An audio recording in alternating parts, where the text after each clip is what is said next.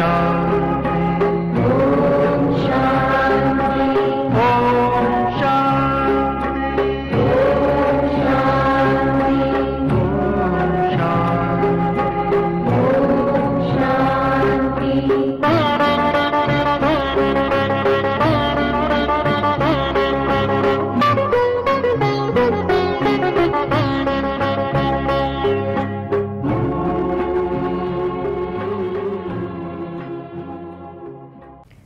ஓம் சாந்தி.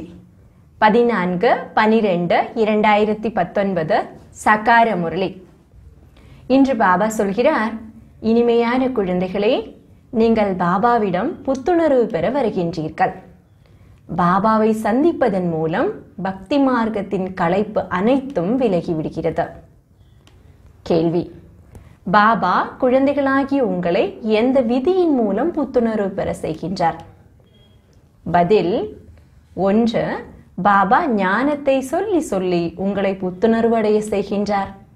இரண்டு நினைவின் மூலம் கூட குழந்தைகளாகிய நீங்கள் புத்துணர்வு அடைந்து விடுகிறீர்கள். உண்மையில் சத்தியுகம்தான் உண்மையான ஓய்வு பெறும் உலகம். அங்கு கிடைக்காத பொருளே இல்லை. எந்த ஒரு பொருளையும் அடைய கஷ்டப்பட வேண்டியிருக்காது. மூன்று ஸ்ரீபாபாவின் மடியில் வந்த உடனேயே குழந்தைகளாகி உங்களுக்கு ஓய்வு கிடைத்து விடுகிறது. களைப்பு அனைத்தும் விலகி விடுகிறது. ஓம் சாந்தி. பாபா வந்து புரிய வைக்கிறார். கூடவே இந்த தாதாவும் புரிந்து கொள்கிறார். ஏனென்றால் பாபா இந்த தாதாவின் மூலம் வந்து புரிய வைக்கிறார். எப்படி நீங்கள் புரிந்து கொள்கிறீர்களோ அதுபோல் இந்த தாதாவும் புரிந்து கொள்கிறார். தாதாவே பகவான் என்று சொல்லப்படுவதில்லை. இது பகவானுடைய மகா வாக்கியமாகும். பாபா என்ன புரிய வைக்கிறார்? ஆத்ம அபிமானி ஆகுக.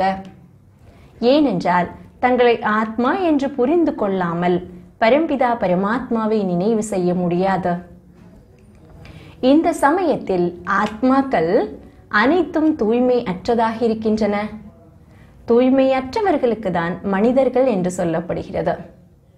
தூய்மையானவர்களை தேவதைகள் என்று சொல்லப்படுகிறது. இது மிகவும் சகஜமாக புரிந்து கொள்ள வேண்டிய மற்றும் புரிய வைப்பதற்கான விஷயங்களாகும்.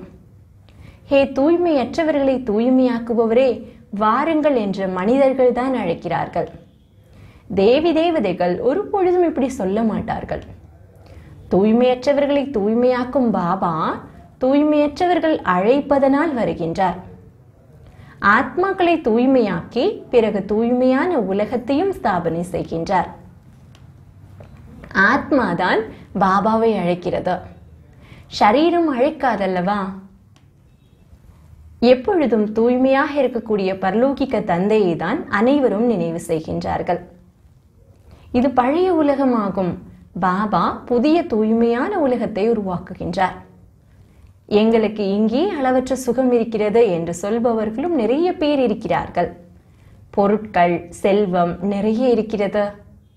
நமக்கு இதுதான் ஸ்வர்க்கம் என்று அவர்கள் புரிந்து கொள்கிறார்கள். அவர்கள் உங்களுடைய பேச்சை எப்படி ஏற்றுக்கொள்வார்கள்? கலியுக உலகத்தை ஸ்வர்க்கம் என்று புரிந்து கொள்வது கூட முட்டாள்தனமானதாகும். எவ்வளவு உழுத்து போன நிலையாகிவிட்டது? இருந்தாலும் கூட நாங்கள் ஸ்வர்க்கத்தில் அமர்ந்திருக்கிறோம் என்று மனிதர்கள் கூறுகிறார்கள். குழந்தைகள் புரிய வைக்கவில்லை என்றால் நீங்கள் என்ன கல் புத்திக்காரர்களா? மற்றவர்களுக்கு புரிய வைக்க முடியாதா? என்று பாபா கேட்பார் அல்லவா தாங்கள் தங்க புத்தியுடையவர்களாக ஆகினால் தானே மற்றவர்களையும் மாற்ற முடியும். நன்றாக முயற்சி செய்ய வேண்டும். இதில் வெட்கப்படுவதற்கான விஷயம் இல்லை. ஆனால் மனிதர்களுடைய புத்தியில் நிரம்பியிருக்கும் அரை கல்பத்தின் தலைகீழான வழிகள் ஒன்றும் விரைவாக மறைந்து விடுவதில்லை.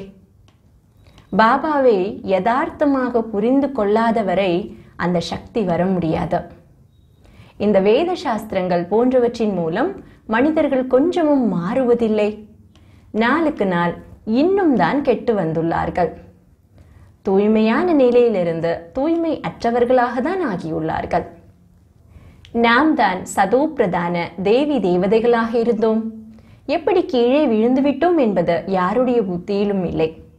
யாருக்கும் கொஞ்சம் கூட தெரியவில்லை. மேலும் எண்பத்தி நான்கு பிறவிகளுக்கு பதிலாக எண்பத்தி நான்கு லட்சம் பிறவிகள் என்று சொல்லிவிட்டார்கள். என்றால் பிறகு எப்படி தெரியும்? பாபாவை தவிர ஞான ஒளியை கொடுக்கக்கூடியவர்கள் யாரும் இல்லை.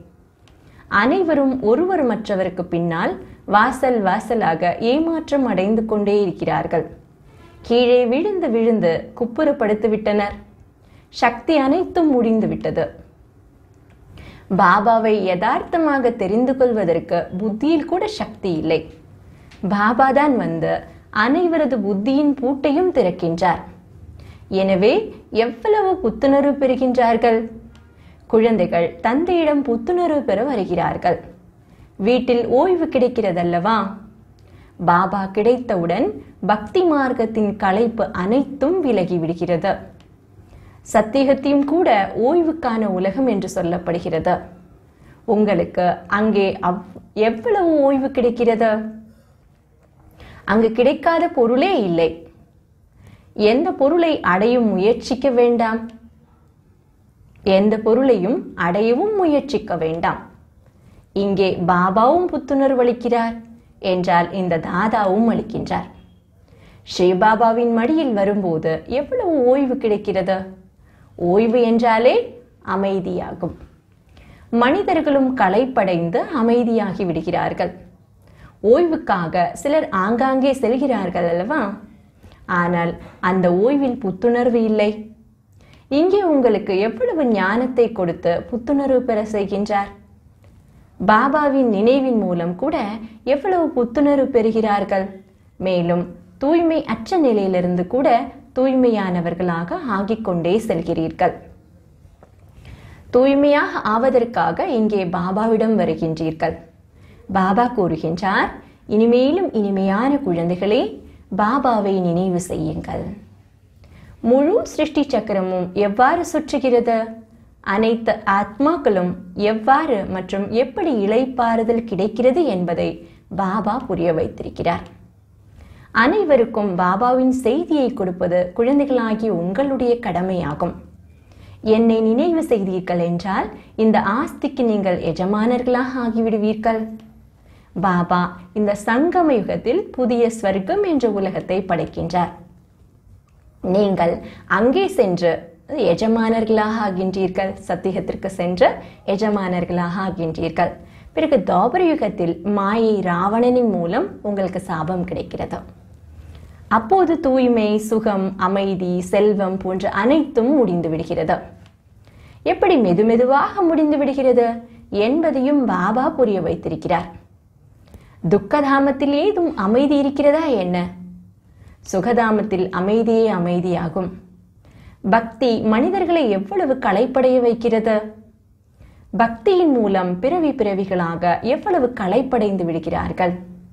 ஒரேடியாக எவ்வளவு ஏழைகளாக ஆகிவிட்டீர்கள்? இந்த ரகசியங்கள் அனைத்தையும் பாபா வந்து புரிய வைக்கிறார். புதியவர்கள் வருகிறார்கள் என்றால் எவ்வளவு புரிய வைக்க வேண்டியிருக்கிறது? ஒவ்வொரு விஷயத்திலும் எவ்வளவு யோசிக்கிறார்கள்? மன்றம் ஏதும் போட்டுவிடக்கூடாது என்று எண்ணுகிறார்கள். அட நீங்கள்தான் பகவான் மந்திரவாதி என்று சொல்கிறீர்கள். எனவே பாபா கூறுகிறார் ஆமாம் உண்மையில் நான் மந்திரவாதிதான். ஆனால் மந்திரத்தின் மூலம் மனிதர்களை செம்மறியாடாக மாற்றக்கூடிய அந்த மந்திரம் இல்லை. இது புத்தியின் மூலம் புரிந்து கொள்ளப்படுகிறது. தேக அபிமானம் உள்ள எருதுக்கு தெய்வீக இசை புரியாது என்ற பாடல் கூட உள்ளது. இந்த சமயத்தில் மனிதர்கள் அனைவரும் செம்மறி ஆடு ஆவர். இந்த விஷயங்கள் அனைத்தும் இங்கே உள்ளவைகளாகும். இந்த சமயத்தை பற்றி பாடப்பட்டவைகளாகும். கல்பத்தின் இறுதியை கூட மனிதர்கள் புரிந்து கொள்ள முடியாது. சண்டிகா தேவிக்கு எவ்வளவு பெரிய திருவிழா கூட்டம் கூடுகிறது? அவர் யார்? அவர் ஒரு தேவியாக இருந்தார் என்று சொல்கிறார்கள். அப்படிப்பட்ட பெயர் எதுவும் சத்தியத்தில் இல்லவே இல்லை. சத்தியத்தில் எவ்வளவு அழகான பெயர்கள் இருக்கின்றன? சத்தியக சம்பிரதாயங்களை உயர்ந்தவைகள் என்று சொல்லப்படுகிறது. கலியுக சம்பிரதாயங்களுக்கு எவ்வளவு மோசமான பெயர்கள் கொடுக்கிறார்கள்? இப்போதைய மனிதர்களை உயர்ந்தவர்கள் என்று சொல்ல முடியாது. தேவதைகளுக்கு உயர்ந்தவர்கள் என்று சொல்லப்படுகிறது. மனிதர்களை தேவதைகளாக ஆக்கினீர்கள் என்று புகழ் பாடப்படுகிறது.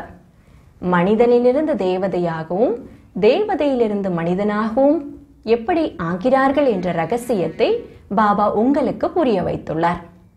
அதனை தேவதை உலகம் என்றும் இதனை மனித உலகம் என்றும் சொல்லப்படுகிறது. பகலை வெளிச்சம் என்றும் இரவை இருள் என்றும் சொல்லப்படுகிறது. ஞானம் என்பது ஒளி பக்தி என்பது இருளாகும். அஞ்ஞானத்திற்கு உறக்கம் என்று சொல்லப்படுகிறது அல்லவா முன்னால் நாம் எதையும் அறிந்திருக்கவில்லை என்ற போது தெரியாது தெரியாது என்று சொன்னோம். அதாவது நாம் தெரிந்திருக்கவில்லை என்று நீங்களும் புரிந்து கொள்கிறீர்கள் நாமும் முன்பு நாஸ்திகர்களாக இருந்தோம் என்பதை இப்போது நீங்கள் புரிந்து கொள்கிறீர்கள் எல்லையற்ற தந்தையே தெரிந்திருக்கவில்லை. எல்லையற்ற தந்தையே தெரிந்திருக்கவில்லை. அவர் உண்மையான அழிவற்ற தந்தை ஆவார் அவருக்கு அனைத்து ஆத்மாக்களும் தந்தை என்று சொல்லப்படுகிறது. இப்போது நாம் அந்த எல்லையற்ற தந்தையினுடையவராக ஆகியிருக்கின்றோம் என்பதை குழந்தைகளாகிய நீங்கள் தெரிந்துள்ளீர்கள். பாபா குழந்தைகளுக்கு மறைமுகமான ஞானத்தை கொடுக்கின்றார். இந்த ஞானம் மனிதர்களிடம் எங்கேயும் கிடைக்க முடியாது. ஆத்மாவும் மறைமுகமானதாக இருக்கிறது. மறைமுகமான ஞானத்தை ஆத்மா தாரணை செய்கிறது. ஆத்மாதான் வாயின் மூலம் ஞானத்தை கொடுக்கிறது. ஆத்மாதான் மறைமுகமான தந்தையை மறைமுகமாக நினைவு செய்கிறது. குழந்தைகளே தேக அபிமானிகளாக ஆகாதீர்கள் என்று பாபா கூறுகின்றார். தேக அபிமானத்தின் மூலம் ஆத்மாவின் சக்தி முடிந்து விடுகிறது. ஆத்ம அபிமானிகளாக ஆவதன் மூலம் ஆத்மாவின் சக்தி சேமிப்பாகிறது. நாடகத்தின் ரகசியத்தையும் நல்ல விதத்தில் புரிந்து கொண்டு நடக்க வேண்டும் என்று பாபா கூறுகின்றார். இந்த அழிவற்ற நாடகத்தின் ரகசியத்தை யார் சரியான விதத்தில் தெரிந்திரி தெரிந்துள்ளார்களோ அவர்கள் எப்பொழுதும் மகிழ்ச்சியாக இருக்கிறார்கள். இந்த அழிவற்ற நாடகத்தின் ரகசியத்தை யார் சரியான விதத்தில் தெரிந்துள்ளார்களோ அவர்கள் எப்பொழுதும் மகிழ்ச்சியாக இருக்கிறார்கள். இந்த சமயத்தில் மனிதர்கள் மேலே செல்வதற்கு எவ்வளவு முயற்சி செய்கிறார்கள்? மேலே உலகம் இருக்கிறது என்று புரிந்து கொள்கிறார்கள். சாஸ்திரங்களில் மேலே உலகம் இருக்கிறது என்று சொல்லி கேட்டுள்ளனர். எனவே அங்கு சென்று பார்க்கலாம். அந்த உலகத்தில் குடியேற முயற்சி செய்கிறார்கள். உலகம் முழுவதிலும் குடியேறிவிட்டார்கள் அல்லவா? பாரதத்தில் ஒரே ஒரு ஆதி சனாதனா தேவி தேவதா தர்மம்தான் இருந்தது. வேறு எந்த கண்டம் போன்றவைகள் இல்லை. பிறகு எவ்வளவு குடியேறிவிட்டார்கள் பாரதத்தில் எவ்வளவு சிறிய பகுதியில் தேவதைகள் இருக்கிறார்கள்? என்று சிந்தனை செய்து பாருங்கள். யமுனை நதிக்கரையில்தான் ஃபரிஷ்தானம் தேவதைகள் வாழும் இடம் இருந்தது. அங்கே லக்ஷ்மி நாராயணன் ராஜ்யம் செய்தார்கள். எவ்வளவு அழகான சதோப்பிரதான உலகமாக இருந்தது. இயற்கை அழகு இருந்தது. ஆத்மாவில் அனைத்து திறமைகளும் இருந்தது. ஸ்ரீ கிருஷ்ணருடைய பிறவி எவ்வாறு நடக்கிறது என்பது குழந்தைகளுக்கு காட்டப்பட்டது. அறை முழுவதும் வெளிச்சமாகிவிட்டதை போல இருக்கிறது. எனவே பாபா வந்து குழந்தைகளுக்கு புரிய வைக்கின்றார். இப்போது நீங்கள் ஃபரிஷ்தானத்திற்கு அதாவது ஸ்வர்க்கத்திற்கு செல்வதற்காக முயற்சி செய்து கொண்டிருக்கிறீர்கள். மற்றபடி குலத்தில் முழுகுவதன் மூலம் தேவதைகளாக ஆகிவிடுவார்கள் என்பது கிடையாது.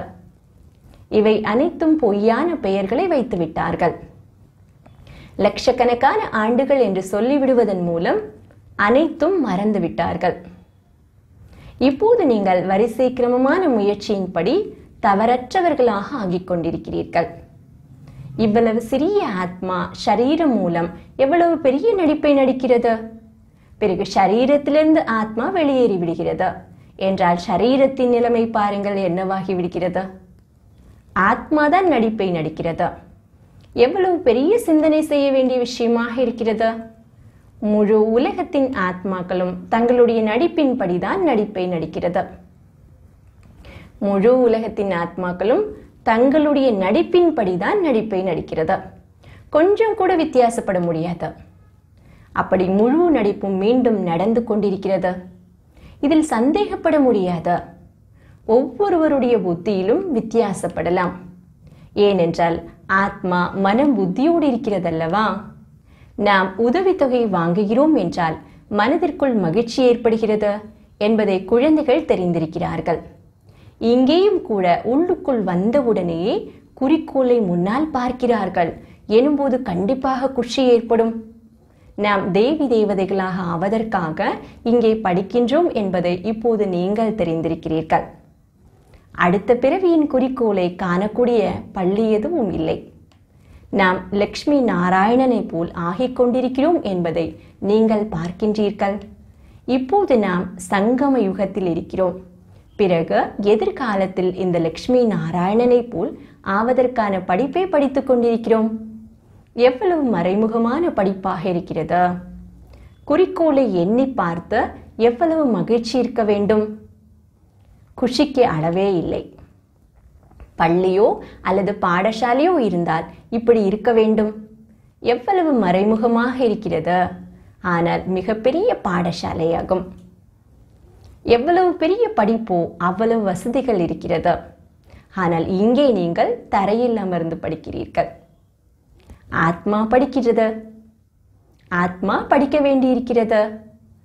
தரையில் அமர்ந்தாலும் சரி அல்லது சிம்ஹாசனத்தில் அமர்ந்தாலும் சரி இந்த படிப்பில் தேர்ச்சி பெற்ற பிறகு சென்று லக்ஷ்மி நாராயணாக ஆவோம் என்ற குஷியில் நடனமாடுங்கள் இப்போது நான் இவருக்குள் பிரவேசித்து குழந்தைகளாகி உங்களுக்கு கற்பிக்கின்றேன் என்று பாபா தன்னுடைய அறிமுகத்தை கொடுக்கின்றார்.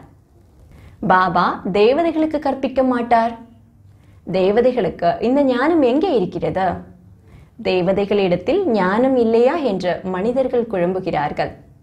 தேவதைகள்தான் இந்த ஞானத்தின் மூலம் தேவதைகளாக ஆகிறார்கள்.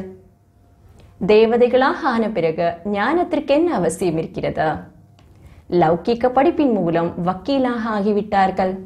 சம்பாதிக்க ஆரம்பித்து விட்டார்கள். பிறகு வக்கீலுக்கு படிப்பார்களா என்ன?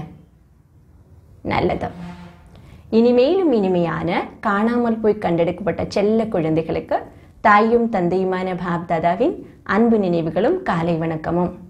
ஆன்மீக குழந்தைகளுக்கு ஆன்மீக தந்தையின் நமஸ்காரம். ஆன்மீக தந்தைக்கு ஆன்மீக குழந்தைகளின் நமஸ்காரம். தாரணைக்கான முக்கிய சாரம் ஒன்று அழிவற்ற நாடகத்தின் ரகசியத்தை யதார்த்தமாக புரிந்து கொண்டு மகிழ்ச்சியாக இருக்க வேண்டும். இந்த நாடகத்தில் ஒவ்வொரு நடிகருடைய நடிப்பும் அவரவர்களுடையதாகும். இதை மிக சரியாக நடித்துக் கொண்டிருக்கிறார்கள். இரண்டு குறிக்கோளை முன்வைத்து குஷியில் நடனமாட வேண்டும். நாம் இந்த படிப்பின் மூலம் இப்படி லக்ஷ்மி நாராயணாக ஆவோம் என்பது புத்தியில் இருக்க வேண்டும். வரதானம். பிராமண வாழ்வில் ஒவ்வொரு வினாடியும் சுகமயமான ஸ்திதியின் அனுபவம் செய்யக்கூடிய சம்பூர்ண பவித்ர ஆத்மா ஆகுக. பிராமண வாழ்வில் ஒவ்வொரு வினாடியும் சுகமயமான ஸ்திதியின் அனுபவம் செய்யக்கூடிய சம்பூர்ண பவித்ர ஆத்மா ஆகுக. தூய்மையே சுகம் சாந்தியின் தாய் என்று கூறப்படுகிறது. எந்த விதமான தூய்மையற்ற தன்மையும் துக்கம் அசாந்தியின் அனுபவம் செய்விக்கிறது எந்த விதமான தூய்மையற்ற தன்மையும் துக்கம் அசாந்தியின் அனுபவம் செய்விக்கிறது பிராமண வாழ்க்கை என்றால் ஒவ்வொரு வினாடியும் சுகமயமான ஸ்திதியில் இருக்கக்கூடியவர்கள் என்ற அர்த்தம். துக்கத்தின் காட்சியாக இருந்தாலும் எங்கு தூய்மையின் சக்தி உள்ளதோ அங்கு துக்கத்தின் அனுபவம் ஏற்பட முடியாது. தூய்மையான ஆத்மாக்கள் மாஸ்டர் சுகத்தை கொடுப்பவராகி துக்கத்தை ஆன்மீக சுகம் நிறைந்த வாயுமண்டலமாக மாற்றிவிடுவார்கள். ஸ்லோகன். சாதனங்களை பயன்படுத்தும் பொழுதும் ஆன்மீக முயற்சியை அதிகரிப்பதே எல்லையற்ற வைராகிய உள்ளுணர்வாகும் சாதனங்களை பயன்படுத்தும் பொழுதும் ஆன்மீக முயற்சியை அதிகரிப்பதே எல்லையற்ற வைராகிய உள்ளுணர்வாகும். ஓம் சாந்தி.